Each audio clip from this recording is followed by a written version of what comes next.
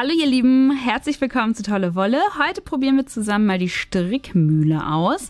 Vielleicht kennt das der ein oder andere von euch, vielleicht ist es für den einen oder anderen aber auch komplett neu. Mit einer Strickmühle kann man solche Schnüre hier arbeiten. Ähm, super praktisch für weitere Projekte dann. Äh, kann man zum Beispiel einen Draht durchfädeln und dann schöne Buchstaben formen. Man kann allerdings auch diese dickeren Stränge dann benutzen und mit denen häkeln oder stricken. Es hat halt so ein gestricktes Muster diese vier V-Verläufe, die eben immer nach unten laufen. Und in der Mitte ist das Ganze hohl. Also da kann man dann, wie gesagt, einen Draht einarbeiten oder auch mit so Ringen arbeiten und das Ganze da eben draufziehen ähm, und dann in dem Ring selber noch schön was arbeiten.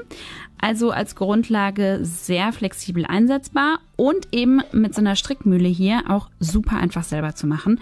Und wie es genau funktioniert, zeige ich euch jetzt. Ähm, ich habe dafür hier so ein bisschen mintfarbene Wolle. So. Das hier ist einmal die Strickmühle selber, in diesem Fall in so einem dunklen lila Ton. Hat hier oben diese vier etwas gefährlich aussehenden Haken, erinnern mich so ein bisschen an Angelhaken. Und darunter seht ihr jeweils immer Streben, solche kleinen Stiele, die hier so ein bisschen nach unten zeigen. Und wenn ich das dann drehe, bewegen die sich mit.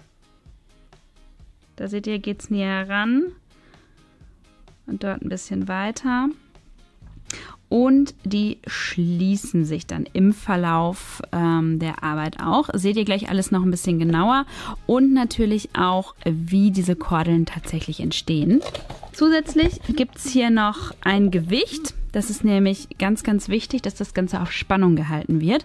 Und ähm, weil man ja die eine Hand hier schon zum Kurbeln braucht und die andere Hand entweder zum Festhalten oder zum Wolle führen oder ja, was auch was anderes damit machen kann in der Zeit, ähm, benutzt man eben das Gewicht, um hier für Spannung zu sorgen. Der Faden wird jetzt einmal eingefädelt. Geht grundsätzlich ganz einfach, wenn man den Bogen dabei einmal raus hat. Der kommt hier durch die Öse außen, geht hoch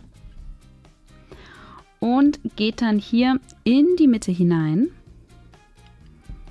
Wird hier durch diese kleine ähm, ja, Einkerbung gelegt und dann immer so ein bisschen weiter reingefüttert.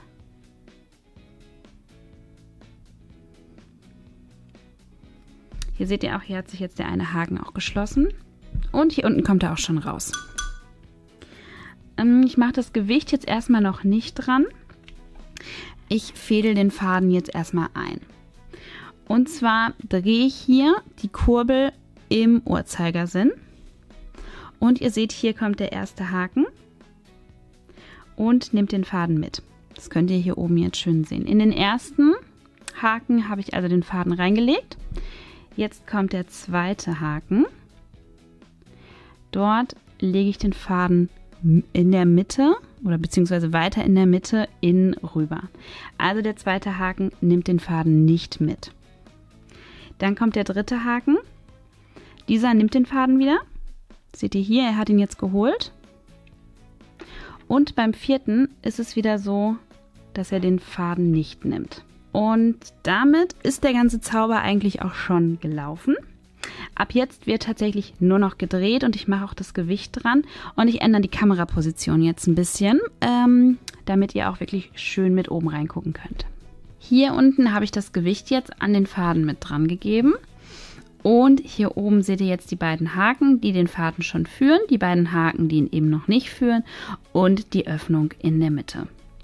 Und ich drehe jetzt die Kurbel hier weiter im Uhrzeigersinn.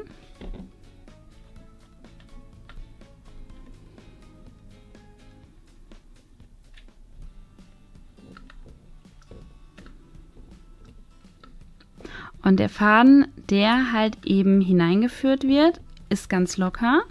Die Spannung wird wirklich von unten aufgebaut. Die kommt eben durch das Gewicht zustande. Und die Haken, die eben schließen, führen die, Faden, äh, die Fäden immer wieder durch die Schlingen der Vorreihe durch. Und dadurch ergibt sich eben das Strickmuster und die Kordel. Ihr seht auch hier diese kleinen Haken, die ich euch eben schon mal gezeigt hatte. Diese kleinen, ähm, die Unterseite des Hakens tatsächlich. Ähm, die die Fäden dann auch unten hält.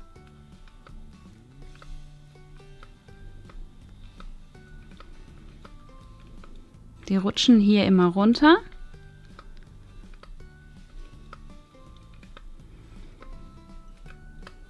Hier schließt das Ganze dann. Ich drehe es mal so ein bisschen. Dann könnt ihr es im Verlauf sehen. Da schnappt es wieder auf. Ein neuer Faden wird genommen. Es dreht sich immer weiter.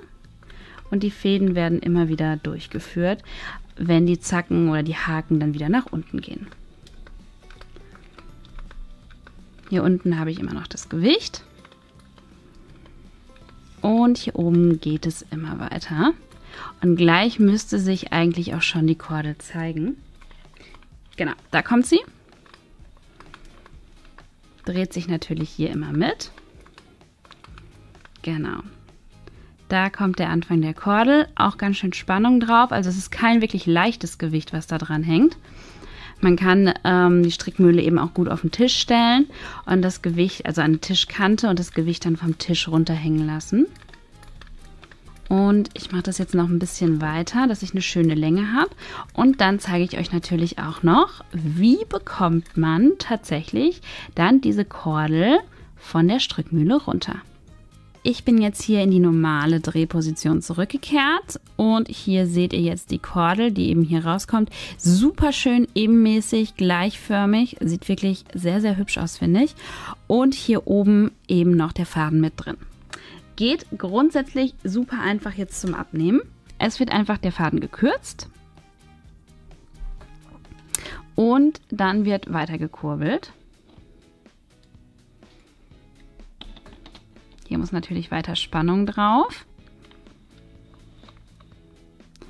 Und dann arbeitet sich das einfach von den Haken runter, verschwindet und ich kann es unten rausziehen.